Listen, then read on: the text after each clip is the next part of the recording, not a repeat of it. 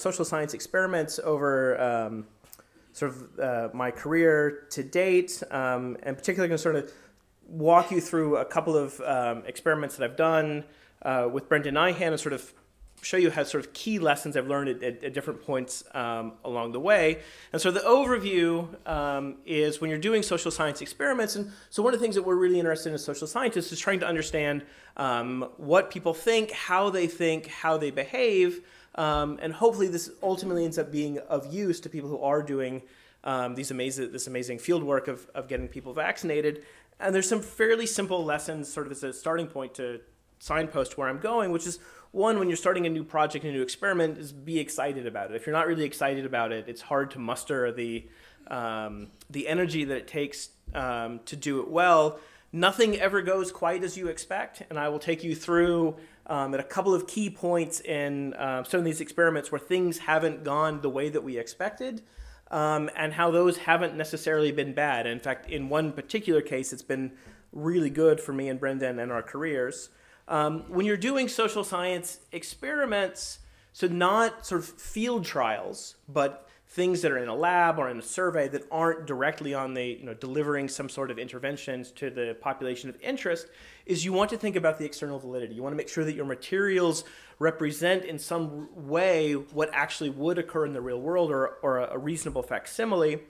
Um, you want to think about the appropriate population is. So when you're doing um, intervention work, it's very obvious you're going to focus on the correct population. Um, when you're doing some of the background social science research that may lead to that, there are choices that you have to make. Um, usually these are budget related, um, which is if you're trying to do uh, things related to childhood vaccination, the population of interest is really parents doing surveys and getting um, uh, samples of parents that you can do quality studies on turns out to be really expensive. And there are lots of less expensive ways that you can get subject populations. The dogs are now running, they're very cute. Um, uh, and, and, so it's important to keep that sort of trade off in mind. Do you do a $60,000 study or do you do a $3,000 study?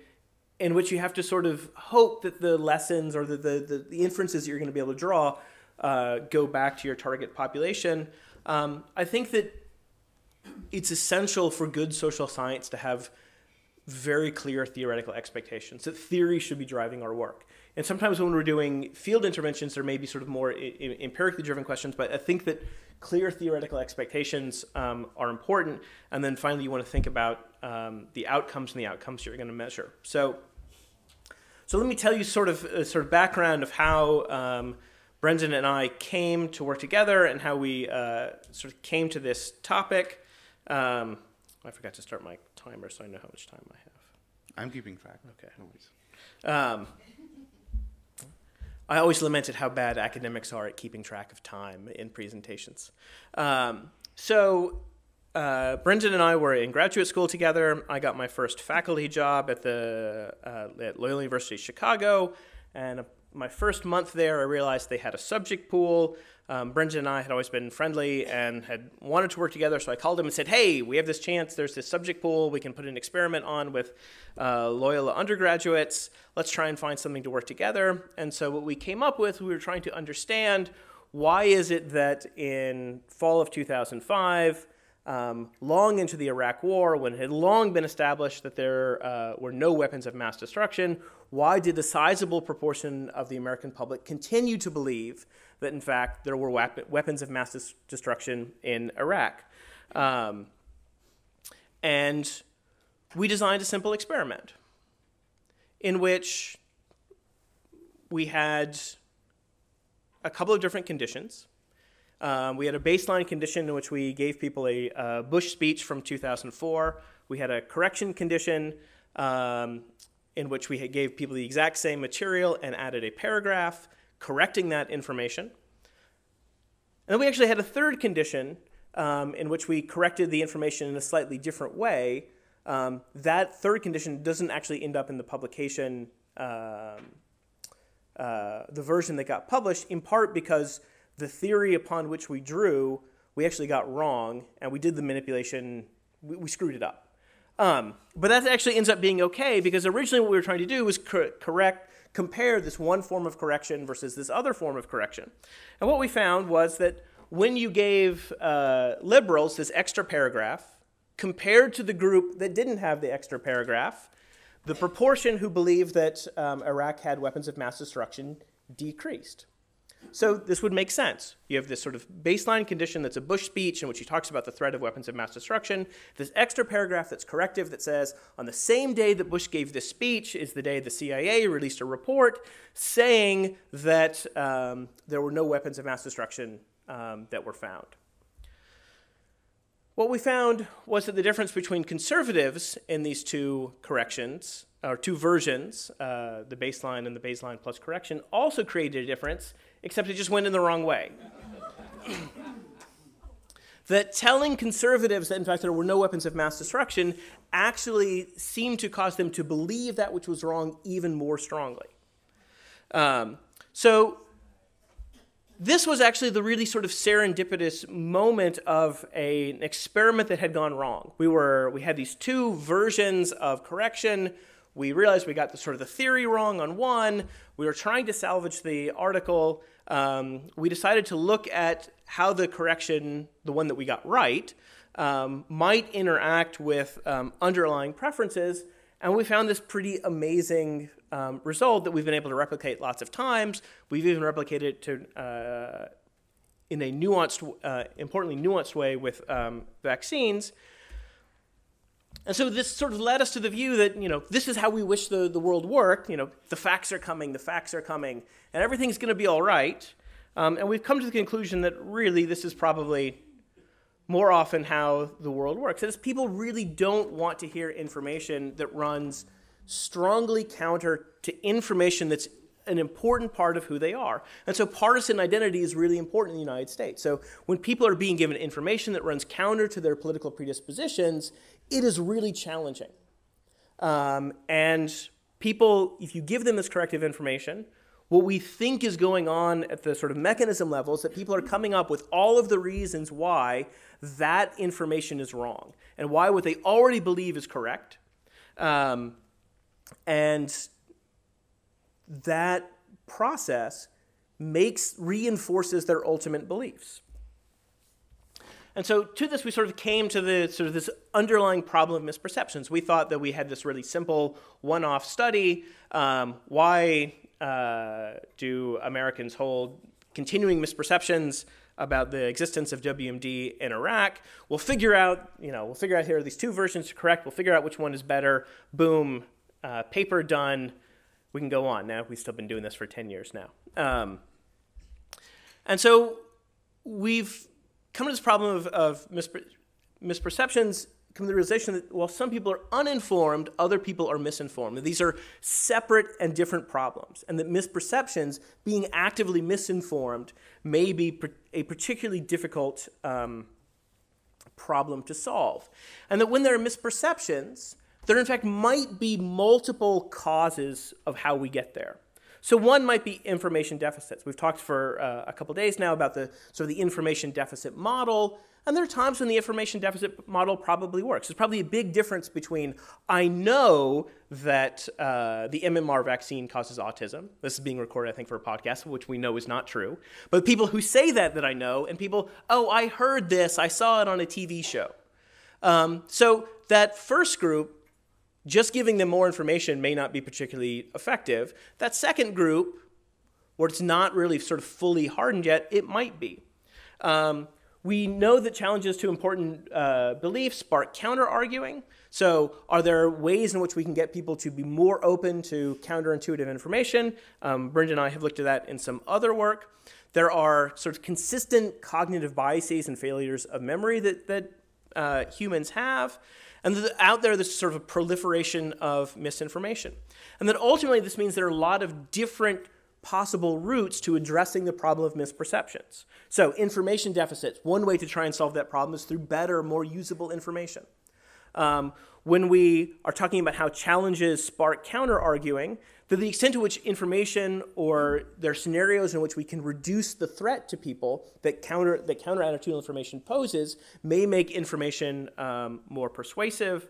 Um, when we think about cognitive biases, how are ways in which we can take human the fallibility of human memory and the fallibility of human cognition um, into effect? And when we have sort of when there's proliferation of misinformation, how can we change the underlying incentive structure for people to express misinformation in the first place? So, as a political scientist who does vaccine stuff, um, some of the time it's very terrifying in a Republican primary debate where um, there's this sort of moment where Republicans are given the opportunity to express um,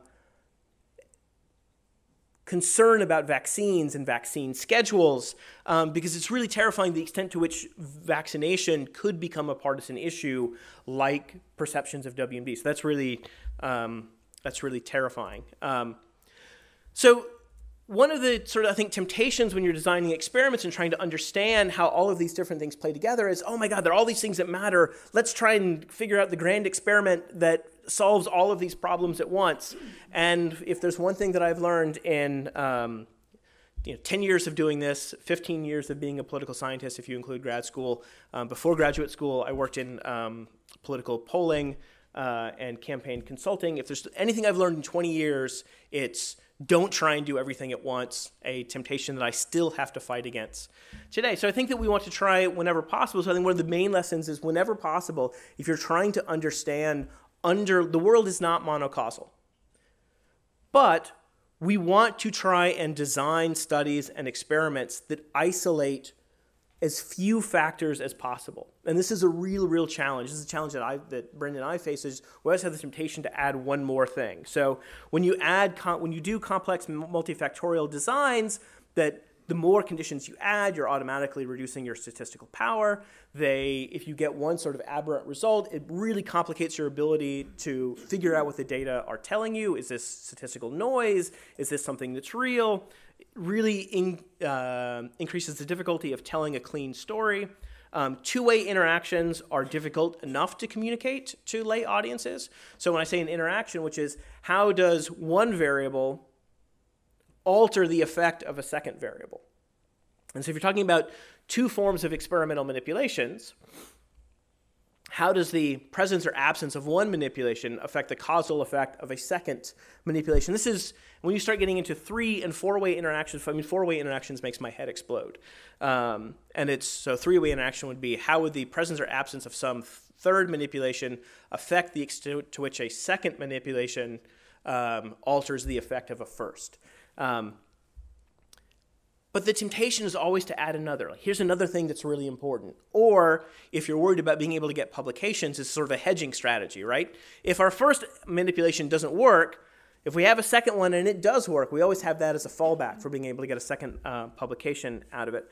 And this is particularly difficult if you think that there are important attitudinal or demographic moderators. So if you think that the effect of one manipulation is affected by something like your pre existing attitudes, well, if you have two manipulations and you think there's some sort of attitudinal thing, you're already in the world of three-way interactions.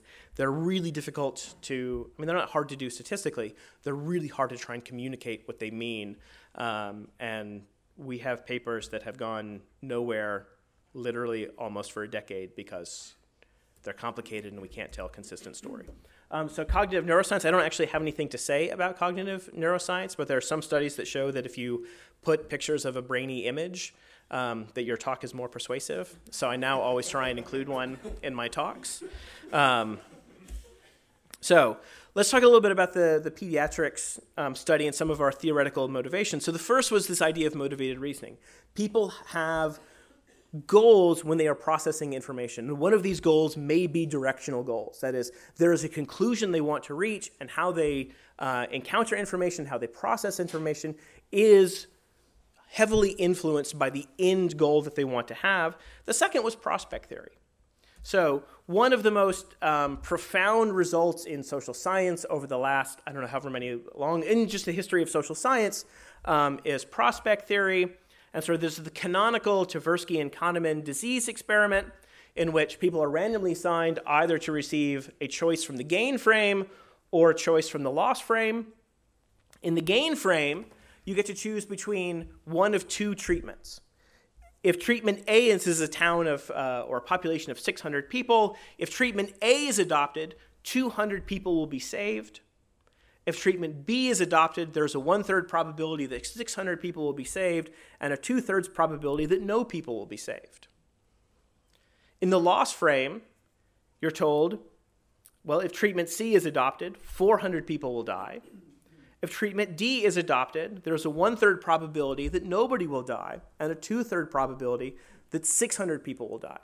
So, one of the things that if you haven't seen this before, so if you've seen this before, you already know what the trick is. If you haven't seen it before, what you're probably realizing is that those are in fact exactly the same.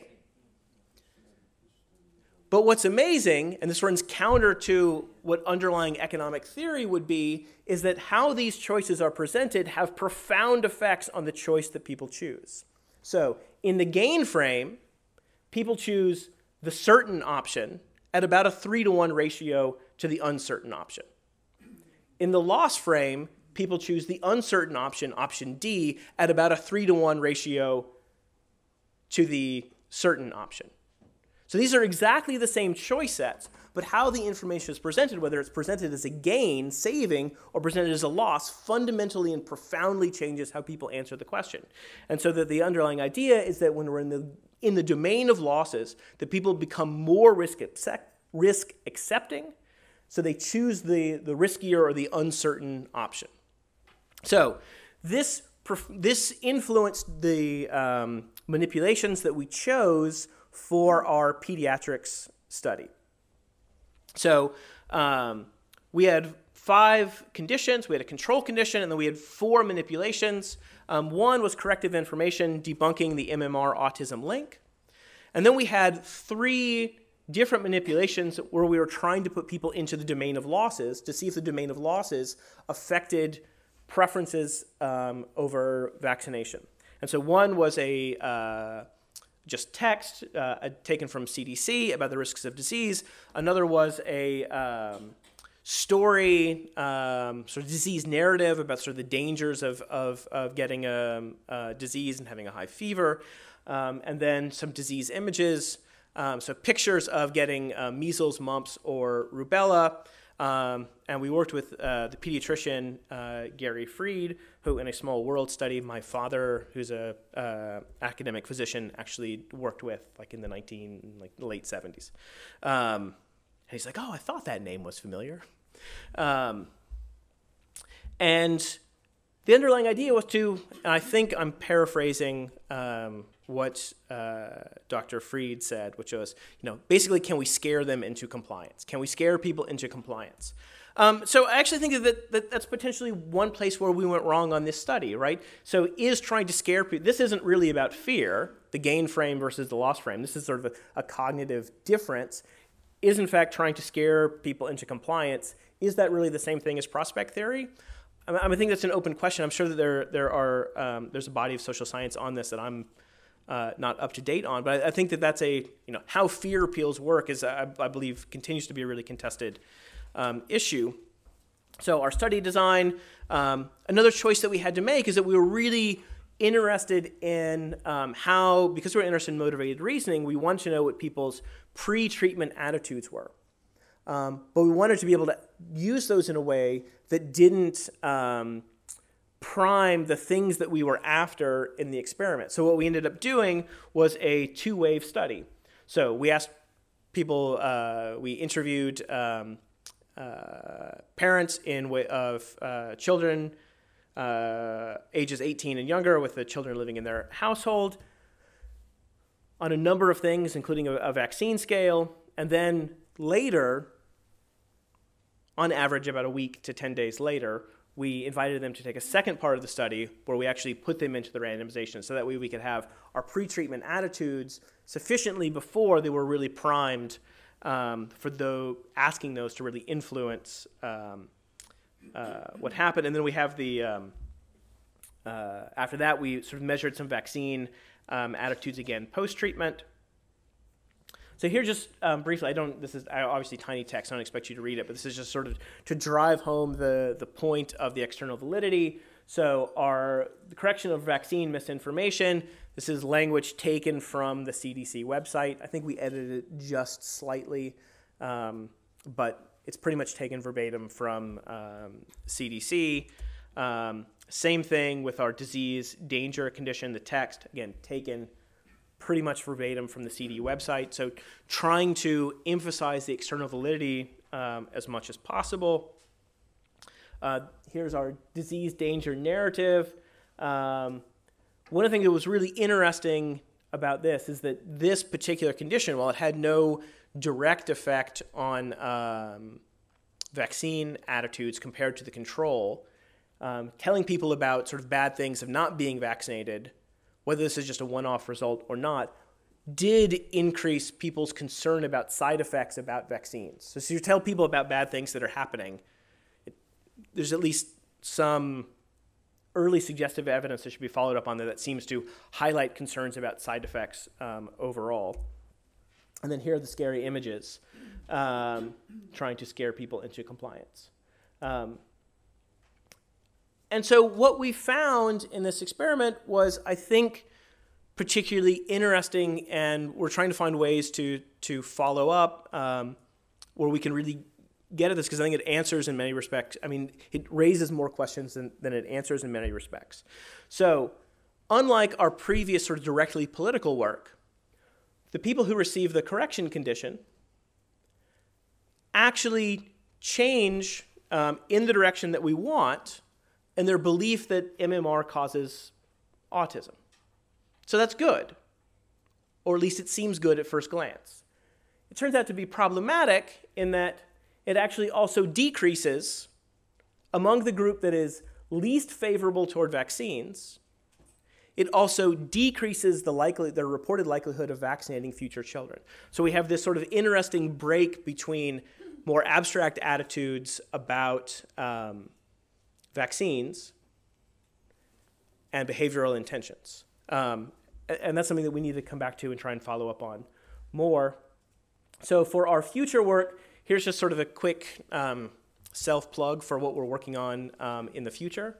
So there are sort of four studies that we are working on. So there's one right now, and just we're looking at disgust sensitivity as a predictor of vaccine hesitancy or vaccine attitudes. Um, he's about to give me the sheet telling me I'm almost out of time, um, or that I'm out of time. Um, so disgust sensitivity are questions about, you know, how disgusted or grossed out do you get by stepping on dog poo, um, which we actually we ran that in both the U.S. and in the U.K. So we had a surprisingly long conversation about whether we needed to change that U.S. based question from poop uh, to poo for the uh, UK based question. I never thought I would say that in public on a, in a speaking thing. Um, so we have another uh, a study in which we're trying to, based on some work about climate change attitudes, that if you explain how climate change works, because um, most people don't really understand sort of the greenhouse effect and what it actually means, um, and how sort of energy, you know, if if energy can come in through the atmosphere, why does it get trapped and then bounce back? Why doesn't it go back out? Um, and so an experiment which we sort of simply explain here how vaccines work and whether that changes um, opinions. We have a, a cross national comparison study of vaccine attitudes um, across several industrialized nations. Um, and then, out of sheer dumb luck, um, we went into the field um, with one of our vaccine, with a vaccine battery on a uh, foreign policy related study, um, asking the vaccine battery in August 2014 we went back into the field in August 2015, so one year later. So this is, um, you know, pre and post both the big Ebola outbreak and the Disneyland measles outbreak to see how vaccine attitudes um, have changed. Um, so more broadly, um, there are demand reasons for vaccine misinformation, and that we still need to do more work to sort of um, understand that people when they are hesitant about vaccines or they have misperceptions about vaccines, they are sort of there's demand to maintain those beliefs. There are supply reasons for vaccine misinformation, which I haven't really talked about today. So there are reasons why political elites or celebrities or whoever it might be um, want to spread misinformation about um, vaccines. Um, corrections are difficult in the best of circumstances. Um, and that one thing that Brendan and I have been focusing in particular on our more directly political um, work is how can we change the supply of misinformation. How can we get better information out there? Um, how can we generate reputational costs for um, the spread of misinformation. So here's just a bunch of uh, further reading of all the stuff that Brendan and I have done together. Um, and then finally, my contact information.